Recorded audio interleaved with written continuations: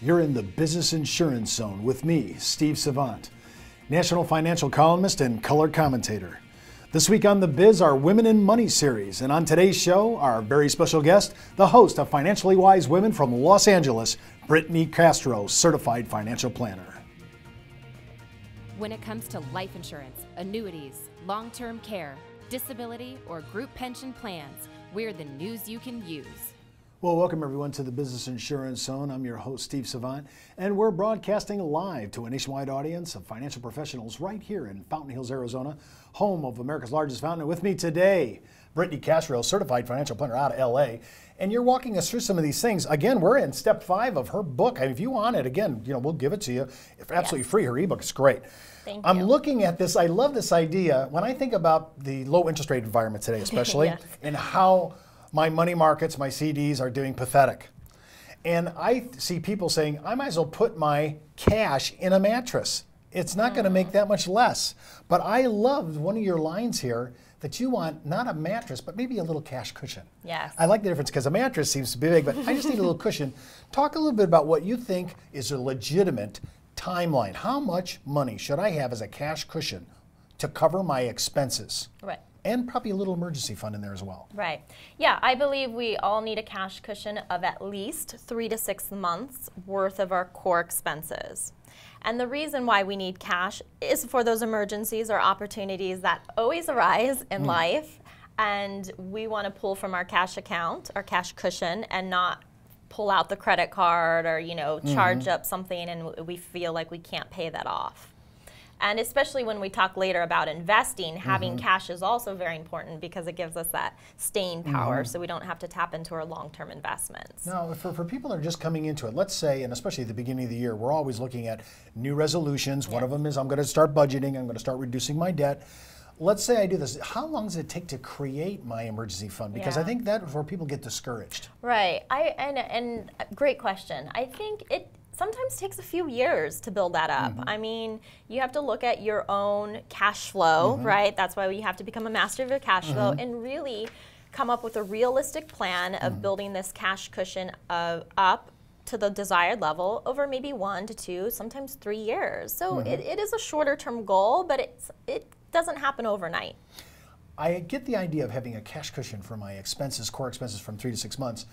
But in your step six, which is the one that I think gets all of us in trouble, is yes. am I prepared for the unexpected? This mm-hmm. is off budget. Right. This isn't even on my radar. And right. all of a sudden, I have an expense, maybe a car expense or maybe a hospital expense. Right. I all of a sudden I, I might have a, an opportunity. One of my children can travel to Europe. It's a great thing, but I don't have the money for it. Mm-hmm. All these things are unexpected. What do I, st- I? I know I have to get about three to six months for my emergency cushion. What do I need for this? Well, I think just for the the latter part of that is, is having the right insurance in place. So as a whole, many of us think like insurance is a big fast fat waste of money, mm-hmm. but it's not because if there is some sort of cas- bigger event, right, catastrophe, sure.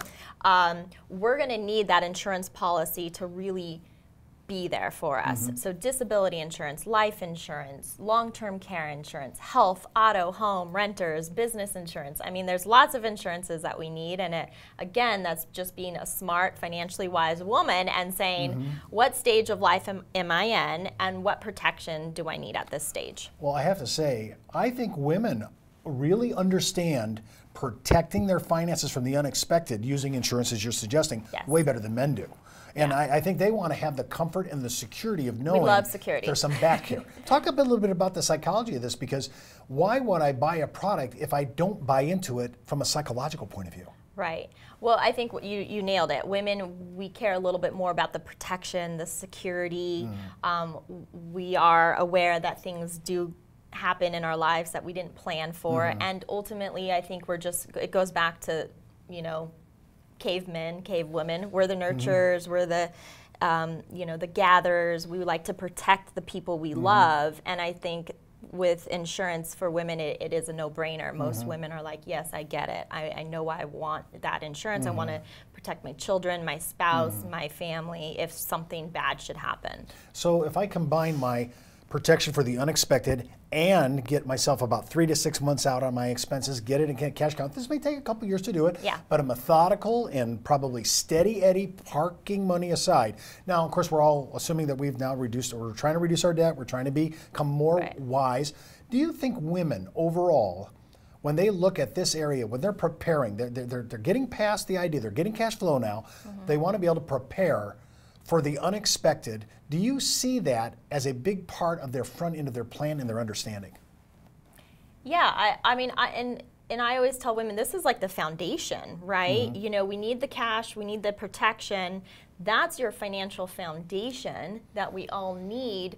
So then you can start adding in the other layers, right? The longer term goals that we have, maybe the the bigger like fun goals that we have. Now, did you map it out that way too? Short-term goals, mid-range goals, Mm-hmm. Yes. long-term goals, Yeah. and how many times do you make adjustments on that? Um, well, I think at least annually we need to check in, at least. Um, sometimes, especially for women in the earlier years, um, 20s, 30s, so much is changing, right? All the time. All the time. I mean, life in general, but I think, uh, you know, people go in and out of different jobs, and so there's just tons of transition happen, happening at this mm-hmm. stage.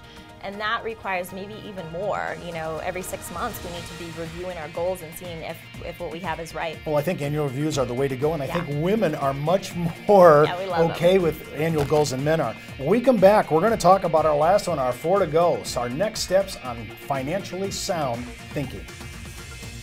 You're listening to the insurance industry's number one resource for products, planning ideas, carrier information, and interviews you can use. When it comes to life insurance, annuities, long term care, disability, or group pension plans, we're the news you can use. Did you know the average 401k runs out of money just seven to eight years into retirement? Time Magazine, the Wall Street Journal, and many other publications have warned of the difficulty of saving with a 401k. But what if there was a way to create tax free lifetime retirement income with no stock market risk? Good news, there is. You know, living in fear of the next market dive is not the way I want to live my life. Why would I go out there and take on risk when I don't need to? I have a lot less stress knowing I can't lose any more of my retirement savings in the stock market. Call now to receive your free, no obligation analysis of what this retirement vehicle could do for you, a comparison to your current retirement plan, and a free video that explains this exciting opportunity. Start planning a retirement you can enjoy instead of worrying about future tax increases and stock market losses. Creating income that will last your entire life is the most important thing you'll ever do. Take control of your future. Call now for your free analysis, comparison, and video. Well, welcome back to the Business Insurance Zone. I'm Steve Savant with Brittney Castro. And remember, you can order today's giveaways at the biz at brokersalliance.com. And we're giving away the five part video series on women and money with Dr. Barb Provost to die for. It's really great, as well as Brittney's ebook. Financially Wise Women, and it's really great. It's an insight. It'll help you open your mind to the thought process and what's going on and help you build out your practice. And remember, before moving forward with anything you hear on the show, especially tax advice and everything else, always check in with your tax advisor. And if you're FINRA licensed, always check in with your broker dealer compliance officer. We're talking about how you, in your practice, you do so much distribution of material for women, keeping brochures, educational pieces, video. So you're out there. That's how I kind of found you. You know, you're out there on YouTube. Talk a little bit about how important this is. Such a self-serving for for us in this organization, but how important is social media in women? huge. I mean, that's where women are at. And I think one of the best marketing like pieces of advice I received a few years ago was whoever your niche market is, go to where they are. Do mm-hmm. not make them come to you, right? So mm-hmm. if your niche market is women, women um, in their 20s and 30s, what am I going to do? I'm going to mm-hmm. go where they are. They're on social media. They're engaging in blogs. It, I think the study, I don't, you know, quote me on this, but I think like 83% of women search, you know, for professionals, and if they don't have a website, they don't, you know, go to them, mm-hmm. right? So they do all this like due diligence at home to mm-hmm. find out who they want to work with, and then when they're ready to make that decision to work with them, they're they're good, right? Because they've already mm-hmm. followed this person online. Um, so social media, it, it's the way of marketing.